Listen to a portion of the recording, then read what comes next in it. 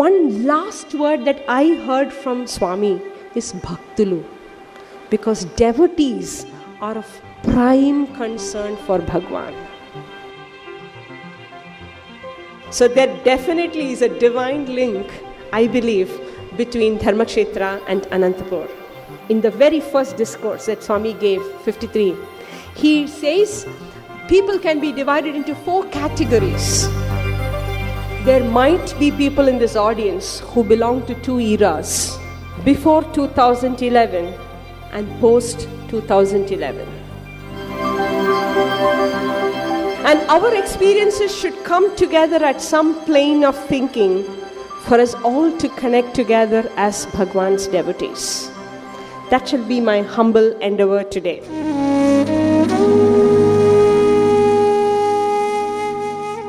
When we get invites to a Samarpan talk, I ask myself, what is the relevance of a program like Samarpan? This time around, Bhagwan inspired me with three or four particular reasons why Samarpan is pertinent. Number one, Samarpan is an excellent opportunity for personal sadhana. For the speaker, from the time he or she is invited, he or she has to keep thinking of Bhagwan indulge in his thoughts, see how you can be an inspiration to so many others who come, all at the time, same time, making sure you're not egoistic about what you're going to be sharing with devotees.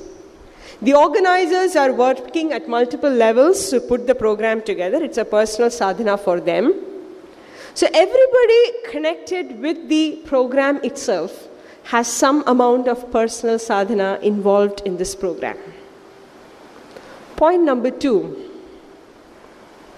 when the divine being was available in the physical form, it is the students who were the biggest beneficiaries of that form and its proximity. And when it is time for thanksgiving, this idea, conceived and executed by the alumni, I think is one of the best forms of thanksgiving because it allows people to hear and know of His endless glory. The third reason I think Samarpan is relevant. You know, when the Rama avatar happened, sage Valmiki wrote the Ramayana. When the Krishna avatar happened, sage Vyasa recorded it all for us. When the Sai avatar's life and glory has to be recorded for posterity, Satyam Shivam Sundaram falls short. I feel every Samarpan talk is scripting a page in the endless epic of Sai Avatar each of us has to write, contribute that one page to get it all together as the epic that talks about the Sai avatar. It is important to have Samarpan as in this context. The fourth and the final reason every generation has its own set of experiences. Every generation experiences the divine in its own form, and its own manner. And we need to pass it on to the next generation and the next and the next because who knows who finds inspiration from whose faith and whose experience. Coming to think of it, all of us, each of us sitting here, if we took a minute we all have a story about how we came to Bhagwan or how Bhagwan came into our lives. And it might be so unique if, if only we could talk to each one and find out, hey, how did Swami enter your lives? I'm sure we will hear very, very interesting stories. If you start with 50s and 60s, Professor Kasturi, he had just lost his elder son, and the son's friend was coming to visit them. and the son's friend's train was crossing Dharmavaram. He was a believer in Baba. So he said, How can I pass by Dharmavaram and not get down and go to Puttaparthi? So let me do that. So he gets off, goes to Puttaparthi, tells Swami about his friends passing away. Swami gives him a handful of vibhuti packets and says, Give it to the mourning parents. And then this friend comes, gives the packets to Professor Kasturi. Professor Kasturi wonders how a few packets of ash can ever, ever give consolation to bereaved parents. Of course, with no faith in what happened, he passes on the vibhuti packets to a neighbor who believed in Shirdi Baba. Swami was making an effort to enter his life already, his life already. To the 80s, I was a little girl going to 7th standard, 6th or 7th standard. One afternoon, I remember this very vividly. I was playing in the backyard of the house and then my father came in with a picture of Baba and two books. So the minute I saw this photograph, I said, Who is this man with such weird hair? And then I was chastised and I was told, He's not man, he's God man. You can't talk so irreverently about him. I said, Oh, okay. And the picture and the book was given to him by a friend's friend who told them that there was a place called Puttaparthi and it is a very holy place to visit, and there was this holy person who does performs miracles. It was a brief, less than five minutes conversation. The picture and the book went to some corner of the house. Nobody ever looked at it. The books lay totally undisturbed in the bookshelves, and that was the end of the matter. A couple of months later, there was in the neighborhood one Mrs. Kalyani Iyengar, a hardcore devotee whom Bhagwan had visited when he came to Kerala. So she meets us and she tries to cajole me to go into what she called Bal Vikas. This was very new. So she was telling my mother, you know, all the children in the neighborhood, it's good for them to come to Bal Vikas because they'll become good children. So I kind of looked at her and said, I'm already good, I don't need to come. and my mother was uh, good enough to say, Yeah, we'll see. Then she told my mother, uh, You know, we have bhajans. Wouldn't you want to come? She said, I'll see if I have the time. I'm a working woman, you know, I don't really have the time. And then a few days later, she was persistent and she told my mother, You know, a lot of us from here, we are traveling to Puttaparthi. Would you like to come with us? My mother literally scoffed at her, she says, and says, Oh, I don't have time for all this. And the matter closed. Once again, there were two knocks, and then we didn't open the door. so the third time, so if you don't let him in, he storms in. So the third time, this is many months later, my mother developed a gynec problem. So every doctor in town was visited the best of medication was prescribed. Months on end, she took treatment. Nothing really worked. Finally, they decided to have a surgery. And this was a challenge because I was a little girl. Both my parents were working. Relatives were far and few between, staying far away, not in town. So it would be a challenge to have a surgery in these circumstances. But they had no choice, so they decided to go ahead. The pay wards were booked, the surgery date was fixed, the doctor was constantly monitoring her to prepare her for the surgery, and our Mrs. Kalyani Iyengar makes her appearance again, somewhere on the road when we're going somewhere. So she says, How are you doing? And my mother is desperate. The last straw on the camel's back. So she said, Oh, no, not really good. She's desperate, right? So she said, You know, we have been having this and we have this real problem and I have nothing has cured me. So she said, Would you try some vibhuti? My mother said, Yeah, yeah, anything, anything. So she gave some vibhuti and taught my mother the vibhuti mantra.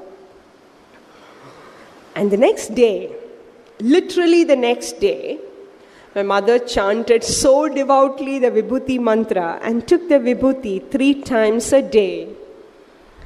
And the problem simply vanished. A problem of eight to nine months.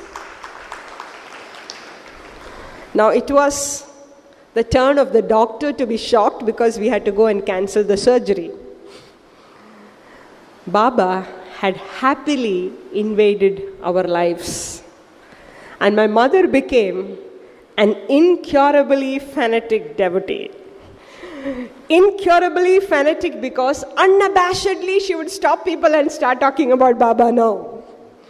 So at work, she worked in the university, so at work, there were colleagues who would be stopped in the middle of a lunch and talked about Sai Baba. And they'd be laughing at her, and she's unmindful. So that's how Swami colonized our lives happily. And there is no decolonization when he comes in. Now, this happened, of course, after that, every Sunday was in the adopted village. I don't remember one evening without going for a bhajan, reluctantly or otherwise. And the only one stop holiday destination that I remember after that incident is Puttaparthi. I wasn't glad then about it, but today I'm glad about it. Now, this happens 50s, 60s, 70s, 80s. What happens after 2011? Whether we all like it or no, there might be people in this audience who belong to two eras before 2011 and post 2011. And our experiences should come together at some plane of thinking for us all to connect together as Bhagwan's devotees. That shall be my humble endeavor today. So, how did Bhagwan come into people's lives after 2011? I had this colleague at Anantapur, Dr. Pratima Tripathi. She came from Lucknow. She joined in October 2011. She did not know that there was a place on the map of India called Puttaparthi or Anantapur. How did she land up there? So, 2011, April, she finished her PhD thesis in Lucknow. She was looking for a job. She went around to multiple colleges in and around her place. Everybody said, We don't have a vacancy for a newcomer, we need experienced people. She was turned away. She was, she says, she was totally, completely frustrated. So one evening, when she turned on the television, we all know what the television and the media did in April 2011 there was some good channel that was talking about Sri Sathya Sai Baba's projects. And it showed the university and the educational institutions. So she said, Oh, this looks interesting. So she sat through, she watched the whole thing, and then she said, Oh, they are saying he's God and he has so many institutions, and here I am struggling for a livelihood. Uh, maybe if he's God, he will, you know, get me a job total stranger who had not even heard of Sai Baba, mind you. She shut down the channels, the TV, went to bed. Two days later, a relative of hers calls her and says, Did you hear about a university called Sathya Sai University? They're talking about it in the news.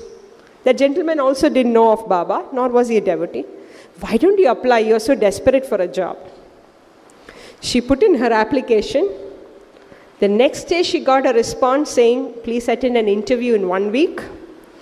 And she was at Anantapur as a faculty in one month. And she came there total new. She didn't even know she had to wear a sari, the dress code. No, we had to. But she got along, she, she gelled into the system so quickly that she kept telling us, I don't feel I came all the way south. I don't feel I'm seeing new people. Everything seems like part of my family. And today, she is a hardcore devotee of Bhagwan Sri Sathya Sai Baba.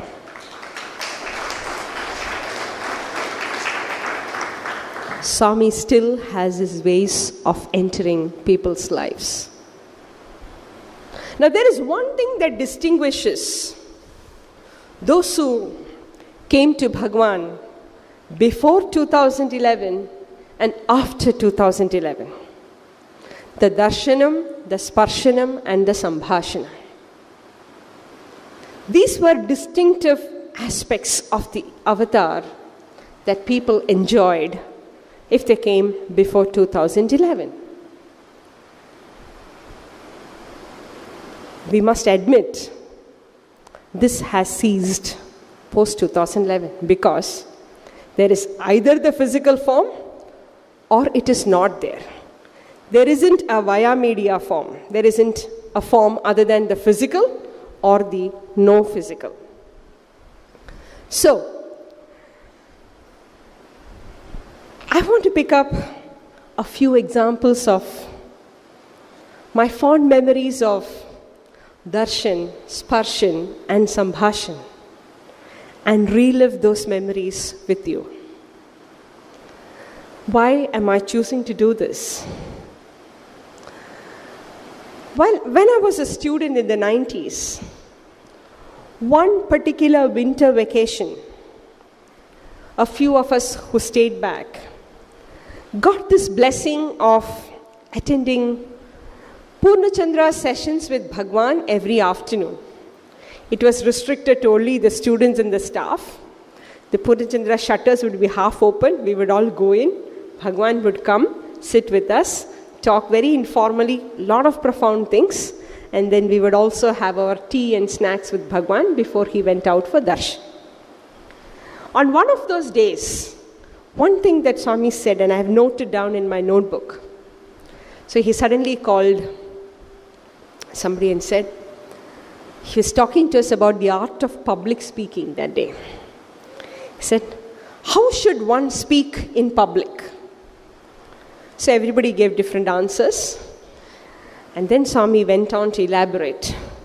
Swami said, When you speak, you should be convincing. How can you be convincing? You can be convincing only when you are convinced yourself. And what are you most convinced about? You are most convinced about your own personal experience. So speak your personal experiences, Swami said.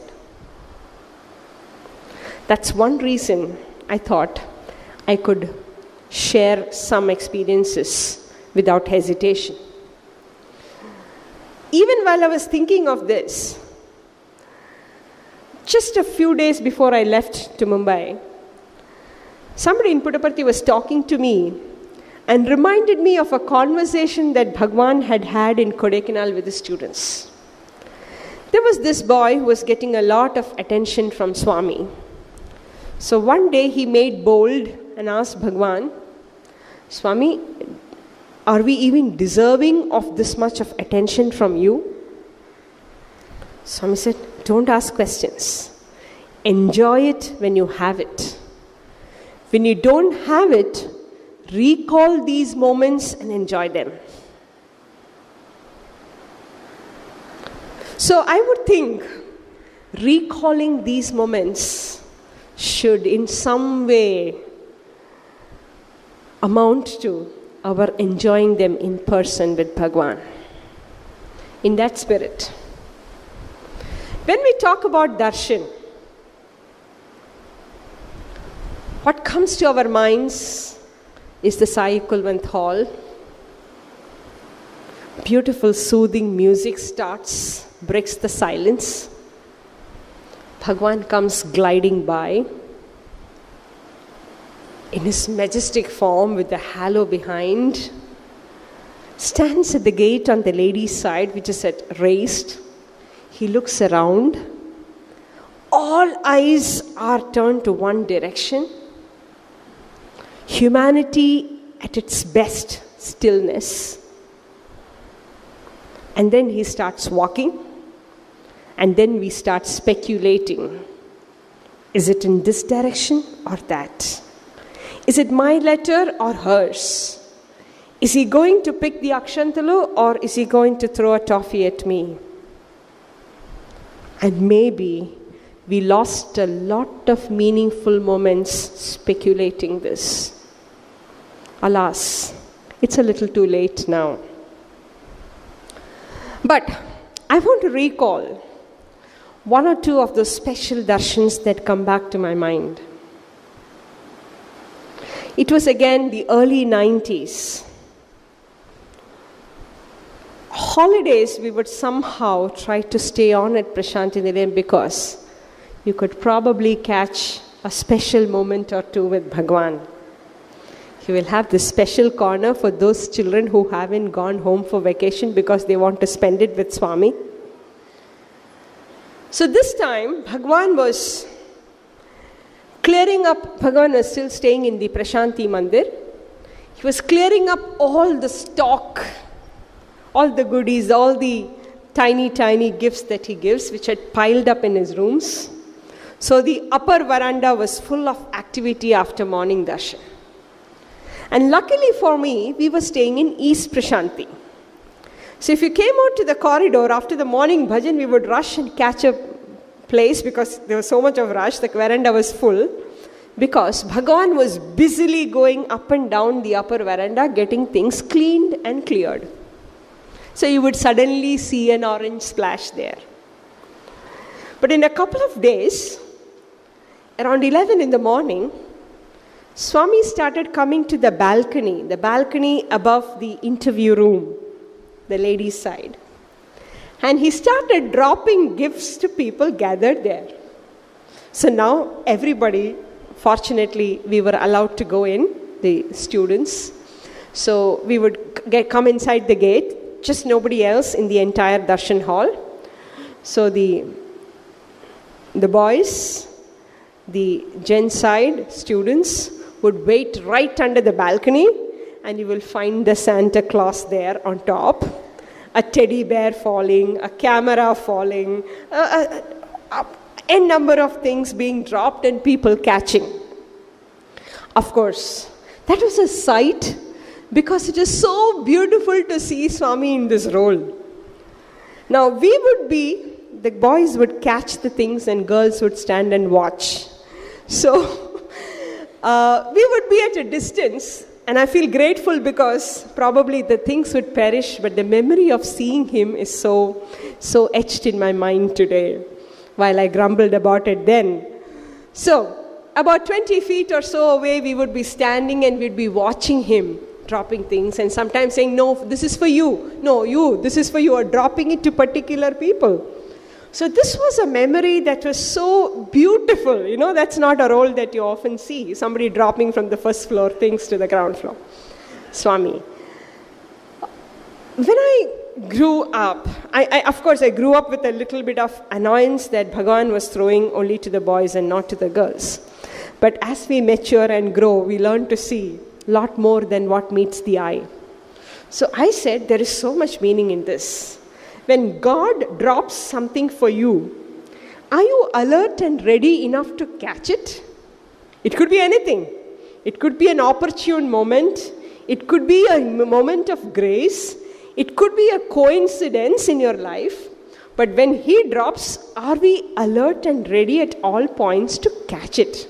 That's important. Imagine if God dropped it and you didn't catch it. That would be regretful. So I graduated to more mature thinking. And I would say, oh, beautiful thought. So alertness is the message. You know, we should always be alert for God. Nearly a decade later, one day in the summer, we were all inside Trayee. Those beautiful Trayee sessions that Bhagwan would have with us. When Bhagwan finished the Trayee session and he was coming out, there were mangoes for prasadam. So, this lady who was showing the tub of mangoes to Bhagwan, usually he blesses it and then asks for it to be distributed. But he started giving the mangoes one by one to those in front. And that day, he didn't want to leave out anybody. so nearly 50 people at this distance. He started throwing mangoes to each one of us. And believe me, every one, every single person in the hall got a mango from Swami without missing the catch. He would look at you and then you know it's yours because people are crowded and everybody's craning their necks. So he would look at you, lock his eyes so you know it's for you, and then he throws it straight at you because he can never miss his aim, and then you shouldn't miss it. So every one of us caught a mango. Means, uh, so a decade later, this dream of Swami throwing something and I catching it came true for me. But today I feel it's all about catching those beautiful moments that He will give us. If only we keep our eyes open, so many things happen in our lives. Every day, a moment of grace, a blessing in disguise, a message from a book. All these are those things that He's dropping at us. If we haven't caught it, it is gone. Yet another darshan an unusual image that stays in my mind is the good old days in Brindavan. The Sairam shed was a much smaller shed with a tree in the middle and a small shed around, very near the gate, unlike the Sai Ramesh hall today. So when Bhagwan finished darshan in the Sai Ramesh hall, he would talk to people. Swami says, When I'm with men, I am a man. When I'm with women, I am a woman. When I'm with children, I am a child. When I'm alone, I am God. So he would finish this round of darshan in his multiple human roles. And then when Swami walks back those 20 feet or odd to enter the Trayee gates, those days not many people flanked around him.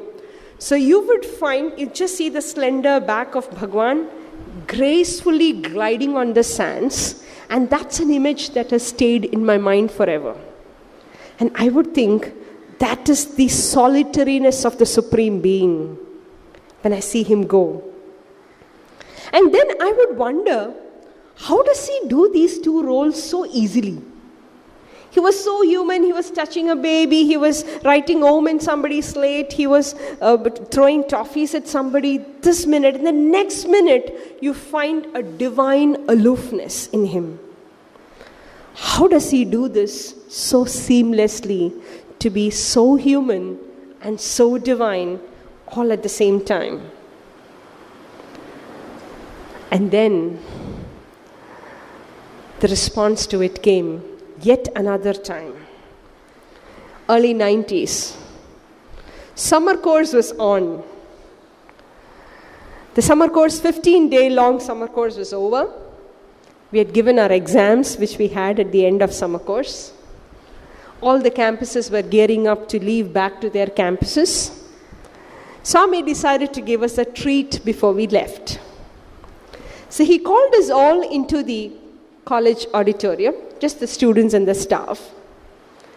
We all went in there. Swami got all the doors closed because it is going to be a private session with just his children. And Swami started talking to us that day about his childhood. So he was talking about poor Satya, who didn't have a second pair of clothes, remember? Who gave his books to somebody to meet the expenses of going all the way to Pushpagiri Scouts. He walked all the way. He talked about the meager ragi balls that he had for a meal. And Swami, the descriptive ability that he has, hooked us with attention. And we were all listening with rapt attention at the story of this poor little Satya and a lot of us were crying and sobbing, thinking of the turmoils that Swami had gone through as a child. So human it was. And literally, the entire audience, spellbound, was shedding tears at how, how challenging Swami's childhood was. That's the kind of story he was telling us. Even as he came to a long narration of his story, he suddenly said, కానీ యుగ యుగాంతరులు ఈ చేతిలో ఉన్నాయి suddenly but yugas are in these palms నమ్మకం లేకపోతే చూడండి if you don't believe see it and his hand went in circles and he created a beautiful diamond studded pendant. Then Swami told us the story. He said, This is the Nala Damayanti Mangal Sutra. When Nala and Damayanti had to communicate with each other across the lake, there was the swan which would carry messages for them. So when they were getting married, Nala asked Damayanti, Swami said, What should we have as a Mangal Sutra? And she said, Let's have the swan. So it was a beautiful three dimensional gold swan studded with diamonds. Swami brought it. He didn't stop there. He came down. He went row by row, showing it to all of us for the boys in between every row, for the girls' side along the aisles, middle passage. So all of us had a close look at this distance. And as he was going up the stairs back, it vanished. So here he was trying his best to tell us how human. How was a small boy? He didn't have proper clothing, he didn't have proper food, he had so much of trouble to do the little things of daily life. And if anybody got disillusioned into it, then deluded into it, the next minute he showed that he's actually not that. I, I, recall something now. You know, it seems somebody asked Swami, a group of students, of course, this is something I've heard. A group of students asked Swami, Swami, what is difficult for you to achieve as an avatar? Swami said, No, nothing is difficult for me. What's difficult for me? No, Swami, there might be something that you don't find easy to do. And Swami said, To all the time behave like a human being was difficult. So, you know, if we know very little and we want to always, you know, some small piece of information, let's say we know. Somebody is talking and we know that information, we are all eager to show off that we know that. But imagine Swami knows everything and he has to all the time behave like he didn't know anything. He said, that must have been tough. I believe so. So, so that is uh, Swami. Now, these are examples of darshan in the physical form that I'm talking about. What happens now if somebody wants to have a darshan? You don't have to go any place. He will come to you. There is this classmate and a good friend of mine. She is uh, the chief manager of Corporation Bank Tirupur. So she was working in Coimbatore branch and she got this transfer to Tirupur branch. Tirupur, all of us know, is, the, is an industrial area full of textile industry.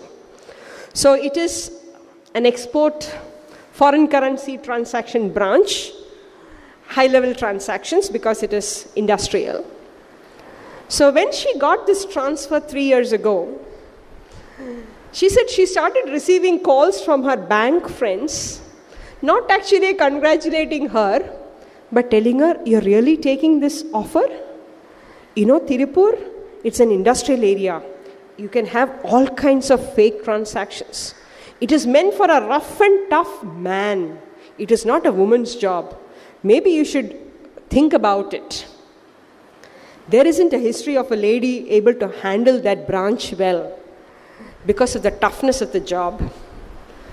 So, when repeatedly people told her this, she started wondering I mean, did I make a mistake by accepting this promotion transfer offer? Then she said, Swami, whatever has come my way, I've taken it as being sent by you. Now, why am I distinguishing? You be with me. You are the only one who will see me through. She just said this and she says, she received a WhatsApp message. Now, all of us get hundreds of forwards in a day. Half of them not really meaningful, also. And this message, when she opened, it said, God is with you.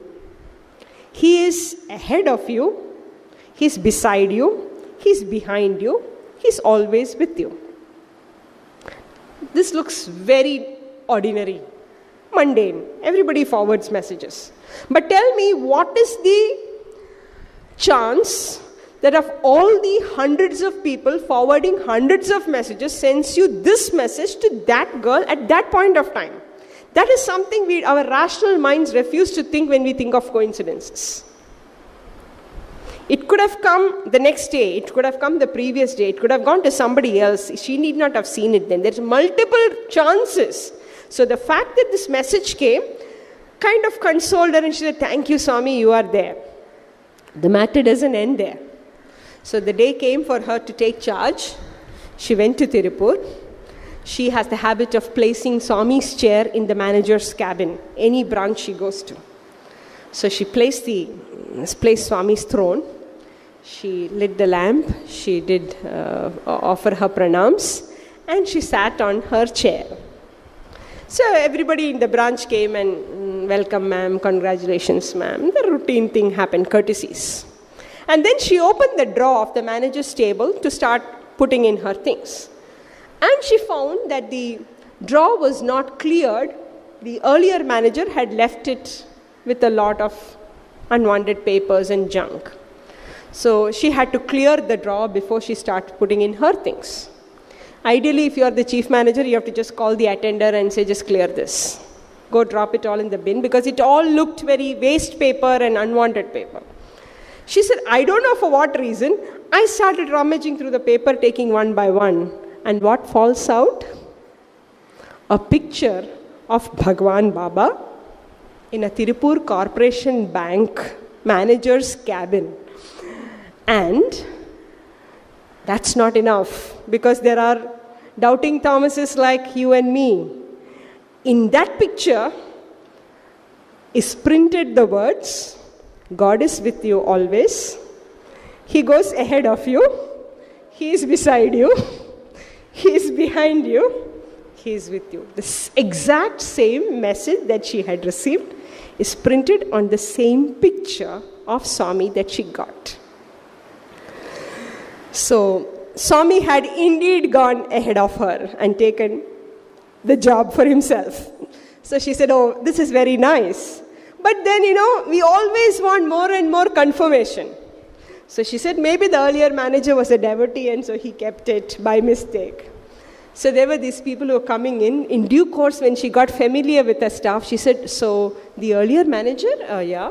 So, so everybody was curious because she puts the Swami's chair. Everybody kind of asks her and she has to talk about Swami. So, so she uh, asked them and they said, Oh, madam, that earlier manager, he, he was a non believer. He didn't even believe in God. Why would we have Sai Baba in his uh, draw? So, if now Swami wants to find a way to come to us, he knows much more intelligent ways than you and I know to arrive at our doorstep. Let us not get misled. Sparshan. As soon as we talk about sparshan, what immediately comes to our minds is the Padanamaskar that we all vied for. You know, darshan ground, early till Bhagwan stopped Pad Namaskar for some time and resumed it. But before that, there was be such a rush to touch his feet. I remember Professor G. Venkataraman once made a joke while talking in Kulwant Hall. He said, it is no more Manasa Bhajare Guru Charanam, it is Manasa Grabare Guru Charanam. Everybody is grabbing Bhagwan's feet when he walks. So, well, that was, that is, and that was our idea of a sparshan from the Lord. But let me recall two beautiful, blessed moments of sparshan that stand out in my memory. They're very personal, and bear with me for that. But it's a lot of joy to remember those moments.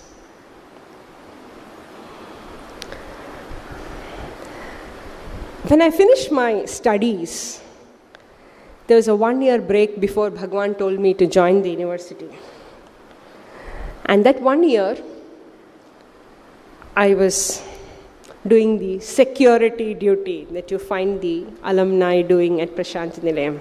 Not that Bhagwan needed security, but he just gave us an opportunity to convenience the devotees who come there. So, one of those days when I was doing this duty, I was sitting in the front block, and to my right was Dr. Neelam Desai, a cardiologist in Bhagwan's hospital. To my left was another very senior and important devotee lady. And those years, Swami used to come very early, as early as 6.37 for darshan. So Swami came Swami looked at Dr. Neelam and said, uh, Aaj, kitna operations? She said, Six, Swami. Six operations?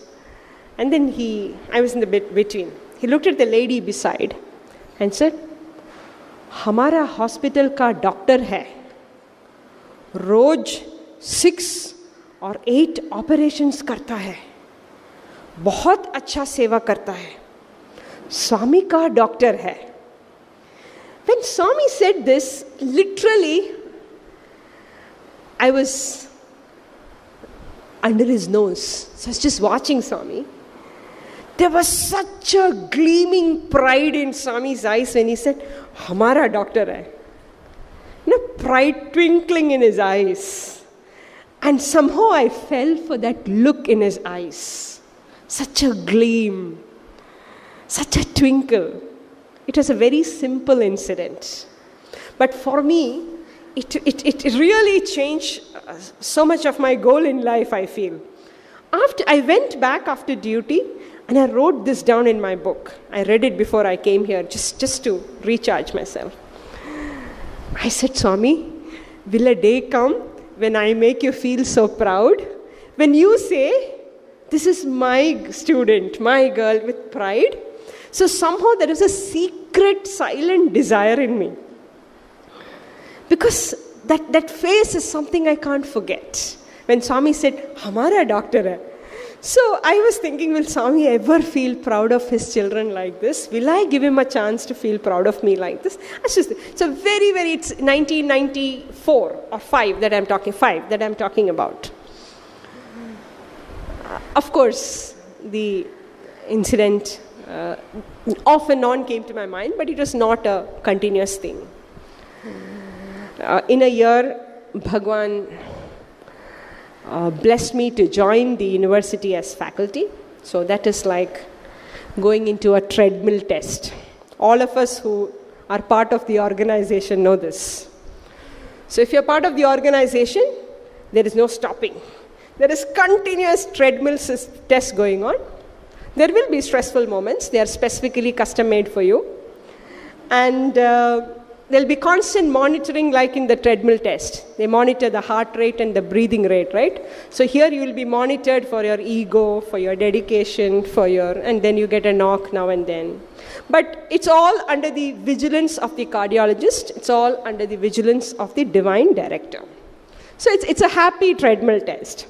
Any case, so I moved on to that role and then, around 2004, one day, or for a few days, I kept feeling every Sunday we would go to Puttaparthi from Anantapur. I kept feeling I'm not getting the attention that I deserved. Okay? So I said, Oh, Swami is not coming my way. Swami is not looking at me. Swami hasn't given me a namaskar for long. No, that's not enough. Swami says, I am man is half truth, I am not animal is the other half truth. Now, the other half of this truth was he was not only not coming near me or giving me attention, he was giving attention according to me to all the insincere people around me. Now, that aggravated my problem, in my mind at least.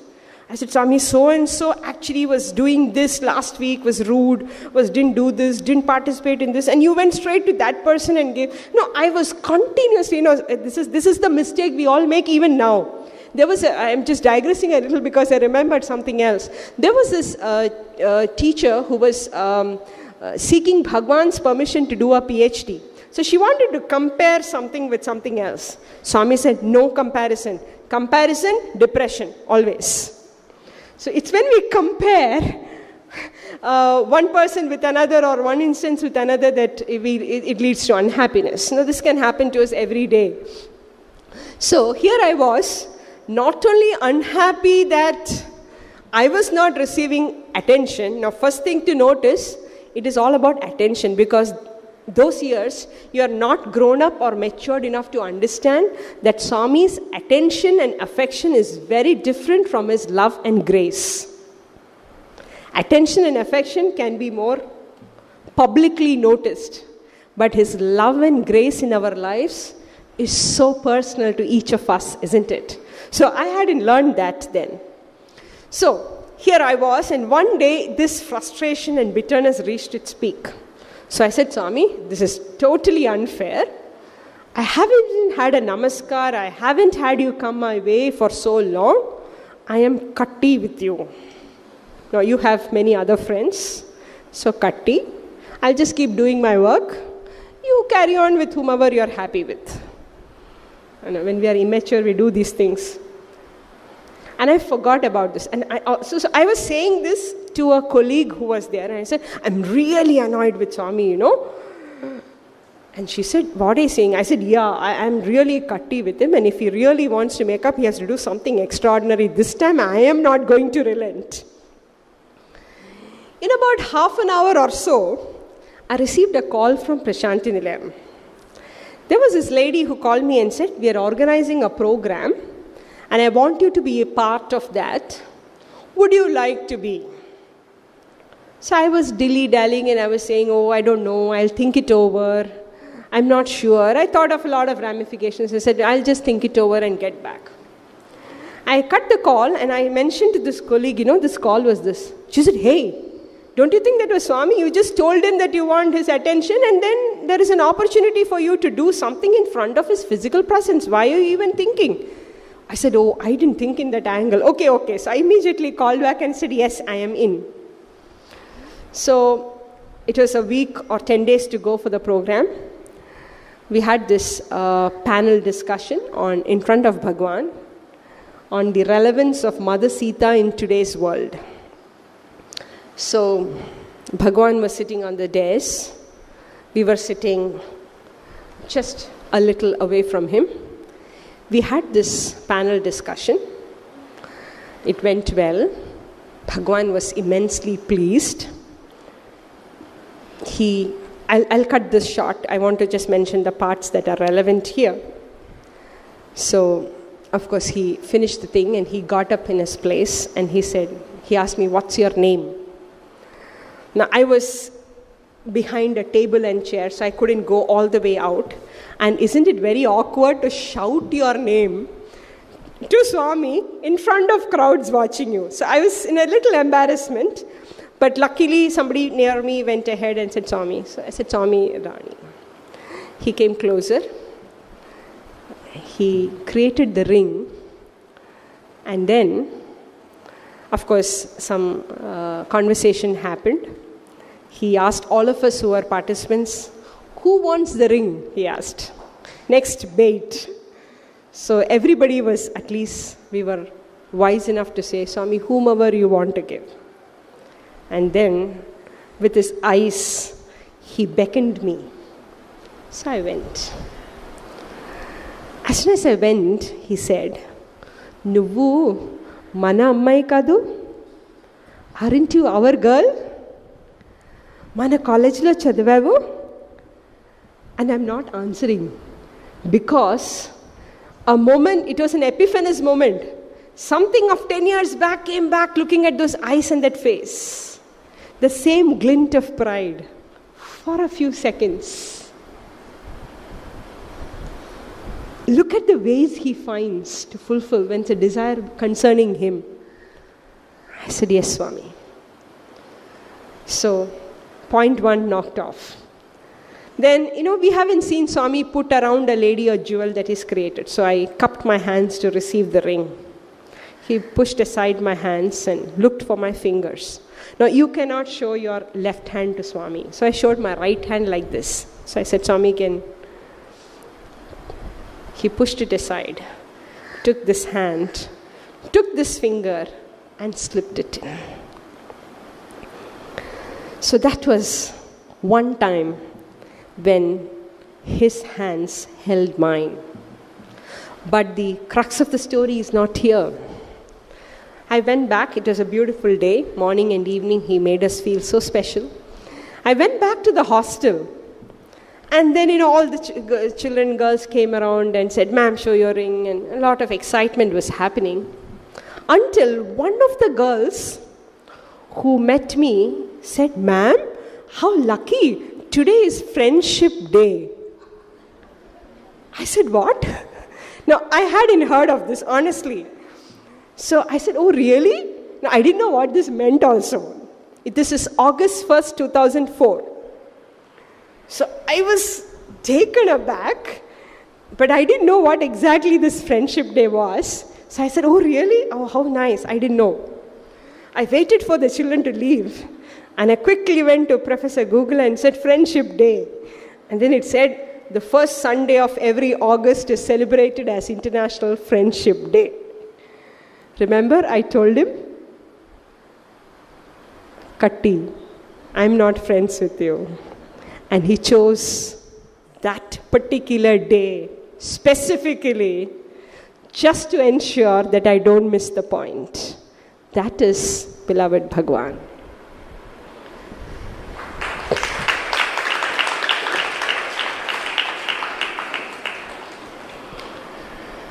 One more instance of sparshan. This was 2006. I had gone through a major road accident on my way from Prashanti Nilayam to Whitefield. In the first instance, we survived the accident because when message was taken to Bhagwan. It was a Sunday morning. We were to just reach for the uh, darshan in another half an hour. Half an hour before Whitefield, the fog and the driver, whatever. We had a head on collision with a truck. So when the message was taken to Bhagwan, he said it in one line. Swami said, Gandam Dataru. They have overcome the obstacle. Means nothing. I had another teacher with me. But well, uh, it was a difficult time, but Bhagwan's abundant grace combined with Dr. Sundaresh's medical expertise and the goodwill of all my students and Sathya Sai fraternity. I went through two major surgeries and there were hopes of my walking again. So, after about three months in bed, I was now trying to take my baby steps on crutches. The accident occurred in February, and this was May. When the end of May came, I had to seek Bhagwan's consent to join back work if he said so, or take another semesters off because I was still just about coping with the new changes in my life. So it was May 27th. All the teachers who had come, they took this special spot between Kalyan Mandap and Sai Ramesh, uh, sorry, and Trayee, waiting for Bhagwan to come around to grant them Padnamaskar before the new semester started. It was a practice. Swami would give us blessings before we started the new semester. So, for the first time now, I had to be on, sitting on a chair, not squatting. And that means end of the row, somewhere behind. So I was sitting on the chair with my crutches. Bhagwan came. He spoke to the then principal, created Vibhuti, told her to give it to each of us. Even as she finished giving to the first two people, he stopped her and said, వాళ్ళేమైంది accident అయిన వాళ్ళు what happened to those two teachers who had the accident? Then she said, Swami, they are here. They have come for darshan today. So he looked for us. So the two of us walked. They said Swami was calling. There is a good distance, Swami's chair. And I was struggling to manage walking with my crutches. We reached face to face with him. And it was the first face to face after he had saved my life and showered such an amount of grace. So, obviously, the minute I looked at Swami, and Swami asked me so lovingly, Ippudu etla undi? How are you all now? And before even I could answer, I broke down and I said, Swami, you saved our lives. We are alive today because of you. And even as I was sobbing and saying, with me was Kiran Bala ma'am, who had also met with the same accident. She had had a head injury. So she laid her head at Swami's feet to thank him because she was nearly gone and she came back to life. When she finished and raised her head, Swami said, Tisko. He told me, take namaskar. So, with my crutches, because I can't leave my crutches, I'm still not off crutches. My feet won't hold me still. I bent to touch his feet, and that was the best of moments and the worst of moments because here was Bhagwan granting me a namaskar, and there was I falling a few inches short of reaching his feet. I couldn't bend enough to reach. I was just there, but, but, but just couldn't reach it. And tears flowed down my eyes onto Swami's robe. But Bhagwan, the most gracious one that he is, he doesn't allow embarrassments. The minute he realized I was not reaching his feet, he said, Bend cheyoddu, hand patko. Don't bend, hold my hand. And he raised his right hand. My eyes were clouded with tears that I couldn't see Swami's hand. I had to search for it. And then I held it for two seconds. That is one sparshan that will, the memory of which, the impact of which will go with me to the grave.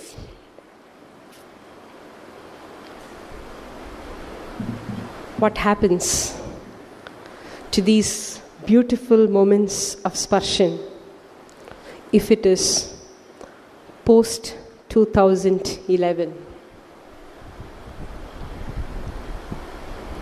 It was the October of 2011. We were still trying hard to cope with the major change in our lives.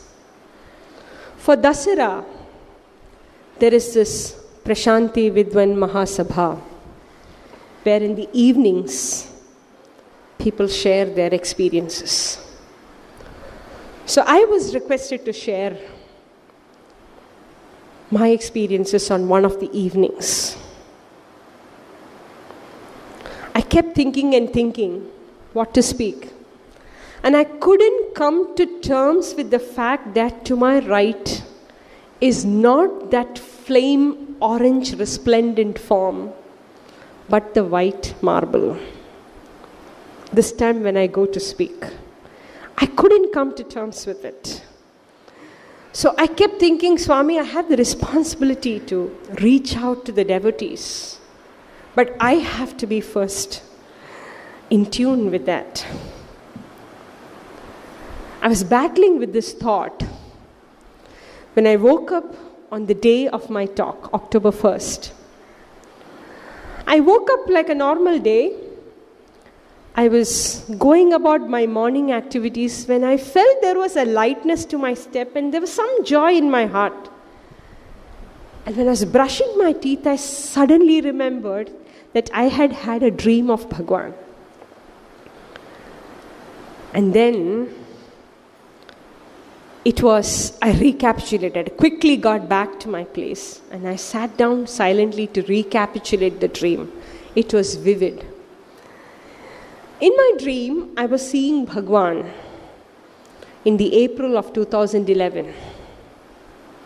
That scene that none of us wants to remember Kulwant the casket, the glass door. And the scene was repeating in my dream and I was telling myself, I don't want to go anywhere near there and see that. So I was keeping a far distance when, but your curiosity. So I suddenly saw, I was speaking at him from a distance to see the face. And I saw that it was bright, effulgent, resplendent, not what I had imagined or maybe seen. And even as I was seeing, Swami's eyes opened. And I sprang backwards in fear in my dream. And I saw gradually Swami's palms stretching and beckoning like he did. But I wasn't ready to take that one step ahead to go close. It is still that glass casket, right? He beckoned me a second time. I still didn't move. He beckoned me a third time with a slight movement of his fingers, and I went. Swami stretched out his palm. I stretched out mine, and he placed it on my hands. And the first immediate sensation, feeling that I got is the warmth of that palm. The dream continued. But this part is important. I didn't know what this meant. Of course, I told you I was battling with the idea of is he there, is he not there. I will not go to Swami's chair to take his namaskar. And then sometimes when you're speaking in front of him, he will give you a tip or two. Idi cheppu, atla cheppu. I was not going to have all of it this time. That was worrying me, bothering me. So I had, I recapitulated this and then I debated in my mind whether I should mention it in the talk or not. I said I'll keep it private.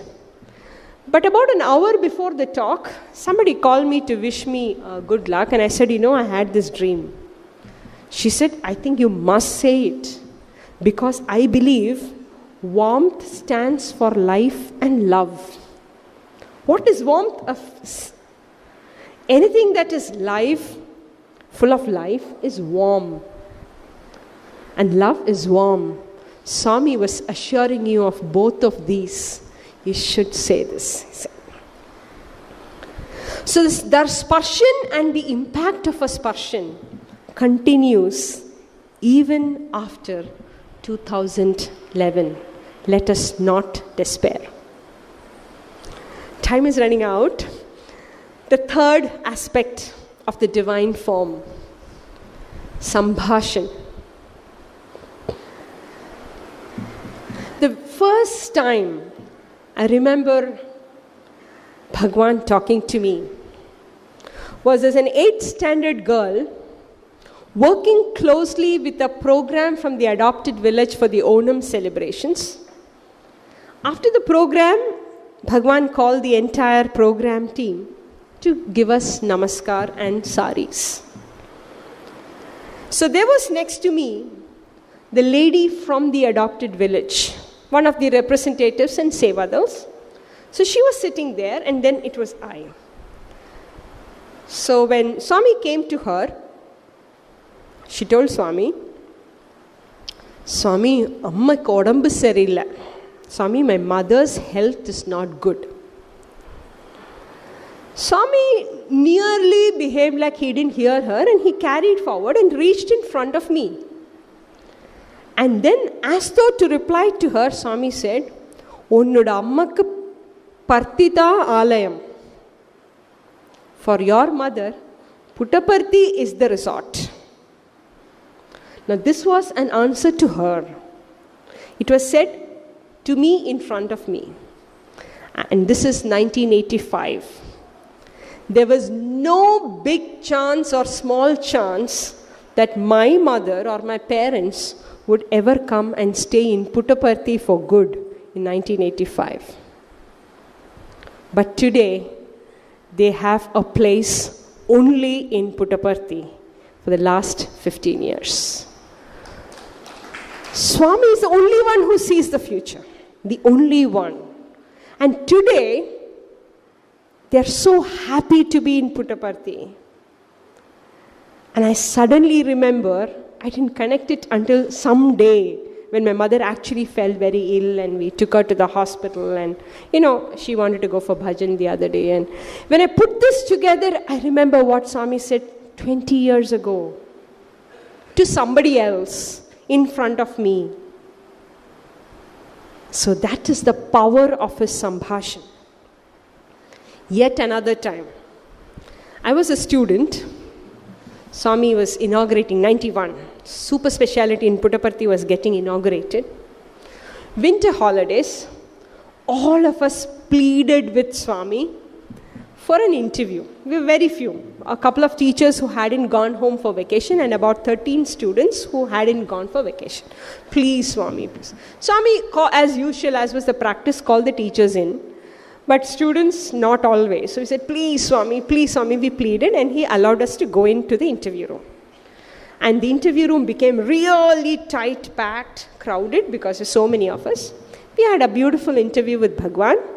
The interview was over, and Swami had to really make place, you know, step on our toes to literally come out, come in and out because it's very crowded. Swami came out. We also came out behind him after the interview, and then we sat in a line expecting to get a namaskar. Look at the human mind. You have a full one and a half hours interview right under his nose, and you still are discontent. You're asking for a two second namaskar. Okay, that's the human mind. So we sat, but Swami went past after bhajan. He didn't give us a namaskar. The next morning, when I went for darshan, no, next morning, uh, you know, there was this lady uh, in West Prashanti who would play on the veena, the Suprabhatam, every morning. So we were staying in that wing, and it was very beautiful to hear the veena play the Suprabhatam. I heard that, but I went back to dozing after Suprabhatam. And then I had a dream. In the dream, I'm telling Swami, Swami, tomorrow we are all going back to Anantapur for the new session. Please grant us namaskar. He said, Teesko. And I take a beautiful namaskar. Dream ends. I wake up, I get ready, I go to Mandir for darshan. So even as I reach, one of the teachers tells me, uh, Rani, when Swami comes today, we are all going to ask Swami for namaskar. You all join in, all of us together will say, Please, Swami, grant us namaskar.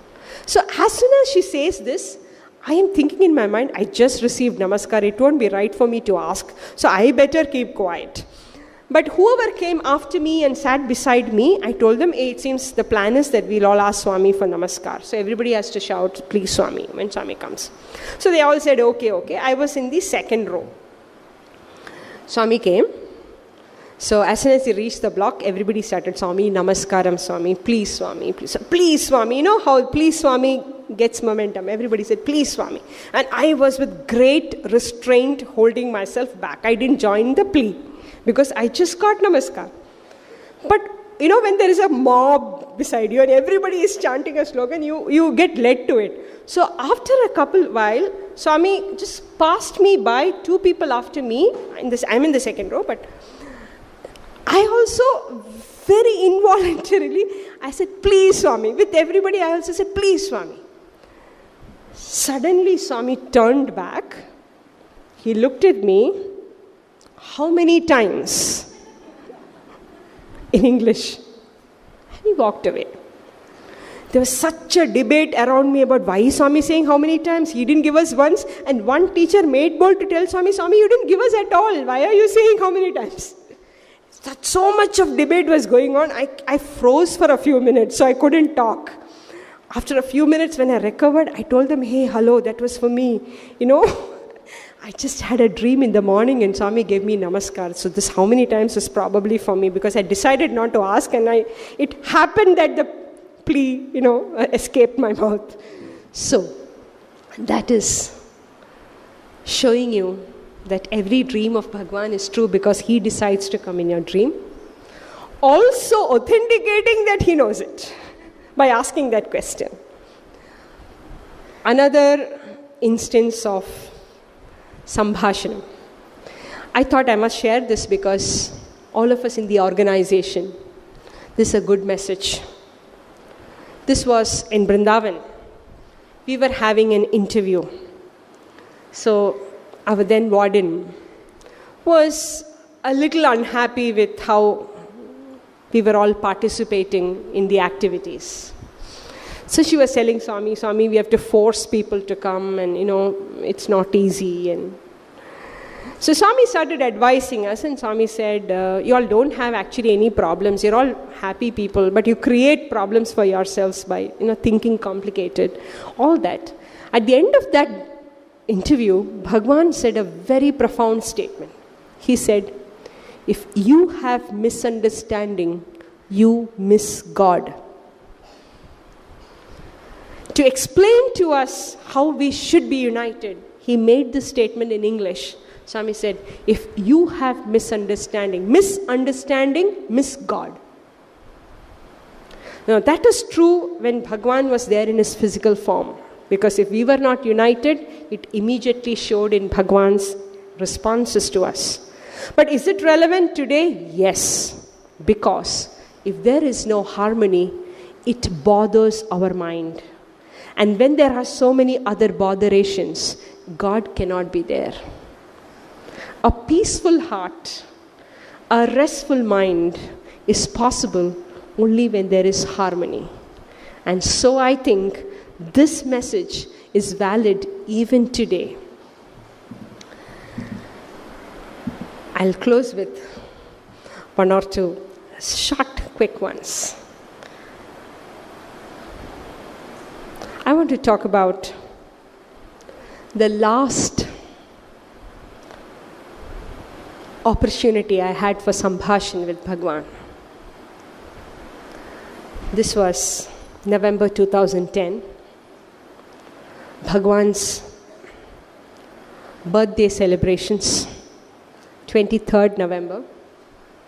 Teeming crowds had gathered in the Hillview Stadium for the evening program.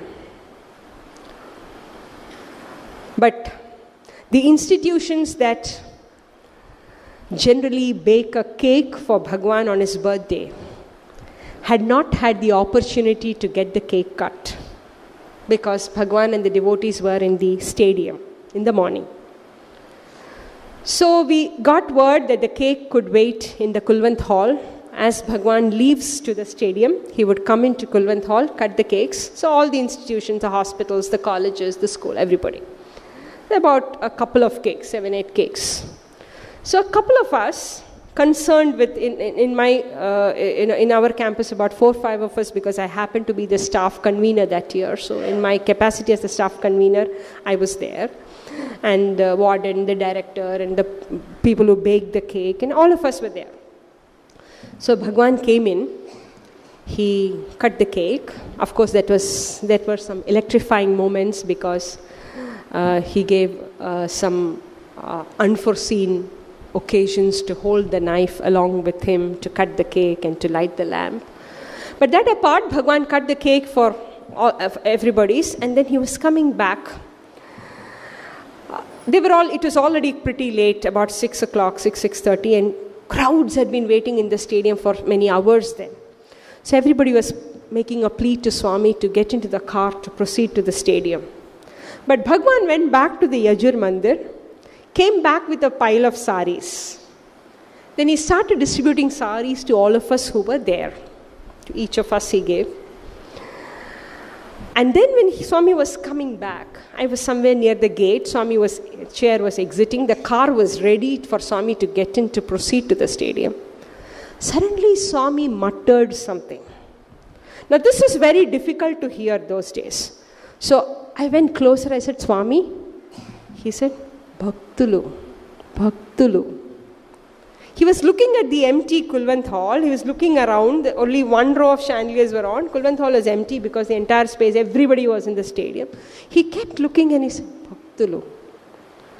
As soon as I caught it, I said, Swami, భక్తులందరూ స్వామి కోసం స్టేడియంలో kunar Swami. All devotees are waiting for you in the stadium, Swami." That's all. The conversation, of course, Swami took a little more time to get into the car and whatever else. But for me, that one last word that I heard from Swami is Bhaktalu. Because devotees are of prime concern for Bhagwan. And I thought, all the devotees who hear this, all the devotees who are here and who will hear about this, will know that Bhagwan always, always had devotees at, on top of his mind. This naturally means that bhakti should be an essential part of our lives. That's when we become bhaktalu, whichever of us. Sometimes we become such a part of the organization and its activities. Bhakti takes a backstage over karma. You know, in the organization, Bhagwan gives opportunity for karma yoga, bhakti yoga, jnana yoga. When you're doing Narayan Seva, you are in Karma Yoga. When you are doing bhajans and Nagar Sankirtan, you are in Bhakti Yoga. When you are attending a study circle or listening to a satsang talk, you are in Jnana Yoga. Swami gives the provision. Each of us has a different temperament, and Swami gives the provision for each of us to participate in what suits our nature. But in the process, even while bhajan is Bhakti Yoga, Sometimes we are so caught up with which bhajan to sing, which pitch to sing, who is following, that the bhakti element goes missing. So that's why I feel from that, from that word bhaktalu, I really feel the message was devotees are always on top of Bhagwan's mind. And bhakti is what makes us a devotee in the very first discourse that Swami gave, 53, he says people can be divided into four categories the dead, those who do not believe in God or the existence of a higher power, they are all people who believe only in themselves. The sick are the people who come to God only when there is tragedy, only when there is difficulty, and when there is need. The dull, they are the ones who know that God is the supreme power, but they are too lethargic and off and on. Whenever it suits them, when it's convenient, they remember God. The fourth kind, Swami says, are the healthy ones who remember God always, in all circumstances, at all times. Let us all pray to Bhagwan to keep us healthy in this sense and in all senses of the term. I wish to close with a small verse that I was inspired with in those tough days of 2011. Some say he is no more some say he is no more. But my heart says he is now more.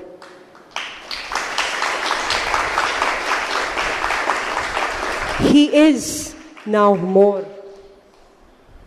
The finite simply turned to become the infinite.